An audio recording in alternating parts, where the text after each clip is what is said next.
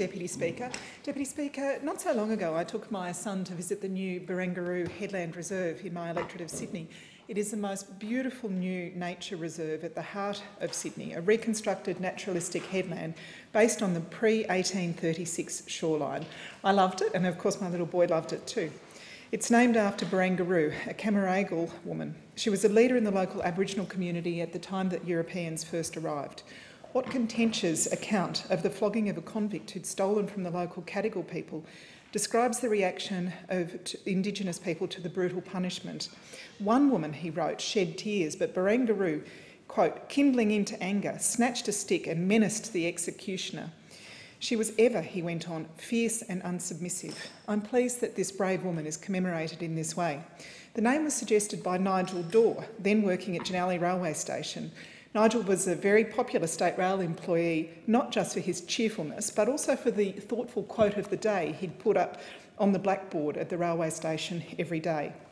The Headland Park opened on the 22nd of August this year. It's the most recent step in the long process of claiming and keeping access to our beautiful foreshore for Sydney's residents and visitors alike.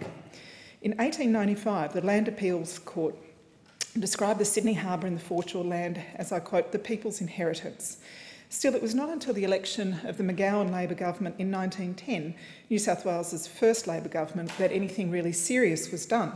That government spent £150,000 on the wholesale resumption of land around North Head and Vaucluse. Niels Nielsen, the New South Wales Minister for Lands, spearheaded that project. He condemned, and I quote, the want of forethought on the part of those who had governed the state in the past in allowing such an enormous area of those beautiful water frontages to be taken away from the people. This inheritance was passed on to Labor leaders such as Bob Carr and Tom Uren, who, as Premier and a community campaigner at the time, delivered Ballast Point back to the people. And of course, I'm proud of my, my own small role in that victory. A hundred years after Nielsen, the new Barangaroo Reserve owes everything to the passion and commitment of a former Australian Prime Minister, Paul Keating. He was the chair of the Barangaroo Design Excellence Review Panel until 2011.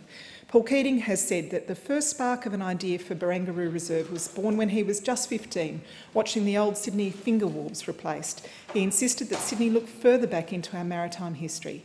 Due in large part to his persistence, we can now see the headland the way it would have looked to the Indigenous people whose home it was, including Barangaroo.